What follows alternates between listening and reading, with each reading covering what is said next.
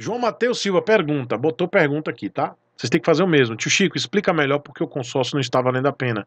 E por que você recomenda o financiamento com 50% de entrada. João, consórcio não vale a pena porque você, quando faz o consórcio, você faz o consórcio, principalmente Honda e Yamaha, você faz vinculado a, a uma moto. O preço das motos está aumentando todo mês. Todo mês aumenta. E aí a sua prestação do consórcio aumenta junto. Diferente de um financiamento, que quando você faz o financiamento é o valor fixo. Acabou, não fica aumentando todo mês. Então o consórcio não está valendo a pena. Outra coisa, as montadoras não estão entregando a moto rápido. 120 dias para entregar. Algumas estão já dizendo que entregam em 60, mas mesmo assim, 60 dias são dois meses, cara. É muito tempo. E aí você dá o lance, muitas pessoas estão pagando o consórcio e não estão recebendo a moto a tempo. Demora, mesmo pagando consórcio e dando lance, e é, é, não recebe a moto, demora para receber. E outra coisa, consórcio, você é um trouxa, porque na hora de você precisar tirar o dinheiro, se você desistir, você fica lá com o dinheiro preso. Então, antes de fazer o consórcio, é muito melhor você guardar o dinheiro numa aplicação sua, que numa emergência você vai lá e tira o dinheiro. Não vale a pena você fazer consórcio.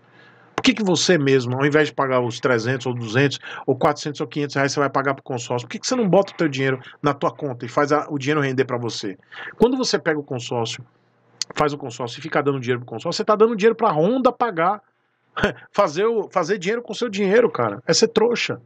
Inclusive a Honda não está vendendo moto à vista. Os consorciados hoje é que estão sustentando a Honda.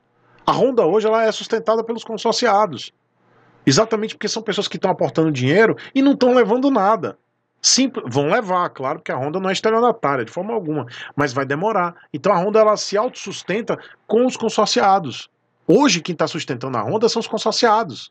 Se acabar com o sócio Honda ou Yamaha, a Honda vai estar tá lascada das pernas. E aí as pessoas estão lá botando dinheiro e não tem moto. E mesmo quando você é contemplado, der um lance, você vai esperar 60 dias no mínimo para receber a moto. E quando você der o lance e for contemplado, você vai virar o, o consórcio, ele vira um financiamento.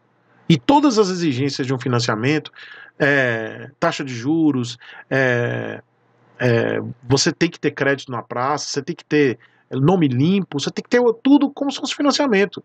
Vira um financiamento, dá no mesmo. Então é muito melhor você juntar o dinheiro. Aí vamos para o financiamento. Por que, que é melhor o financiamento com 50% de entrada, no mínimo, porque a taxa de juros cai. Se você der mais de 50% de entrada, a taxa de juros cai mais ainda.